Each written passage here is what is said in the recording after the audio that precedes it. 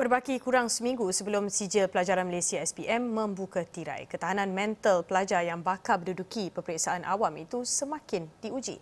Walaupun genting akibat pandemik COVID-19, pemikiran positif perlu menjadi keutamaan bukan sahaja dalam kalangan pelajar tetapi juga ibu bapa dan penjaga mereka.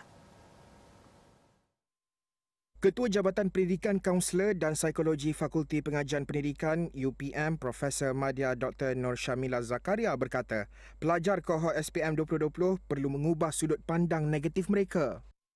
Um, kita rasa nampak negatif eh, dipanjangkan, belajar terlalu lama, letih emosi, letih mental. Tetapi inilah sebenarnya sejarah yang sendiri telah dilakarkan oleh kohort mereka. Jadi um, saya percaya kalau mengatur dengan ketentuan hidup. Manusia mempunyai perancangan.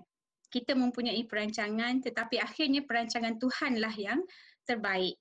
Jadi apabila kita melihat uh, menukarkan perspektif kita, sudut pandangan kita ke arah sebegini, saya percaya persediaan mental kita untuk menghadapi peperiksaan nanti akan menjadi lebih baik. Dalam situasi ini, ibu bapa dan penjaga pastinya tidak ketinggalan menjadi antara individu yang turut gementar. Jadi kalau kita tengok dekat sini semua pihak sebenarnya telah memainkan peranan.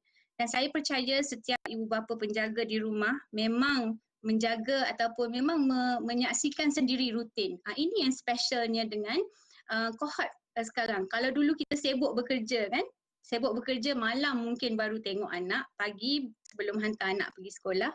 Jadi sekarang ni sebenarnya kita bekerja dari rumah most of us dan kita melihat sendiri macam mana anak kita uh, bersedia menghadapi peperiksaan yang sangat penting ini.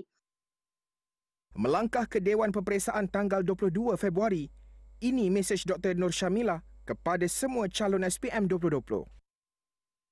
Let's focus on benda yang boleh kita buat rather than fokus benda yang tak menyeronokkan.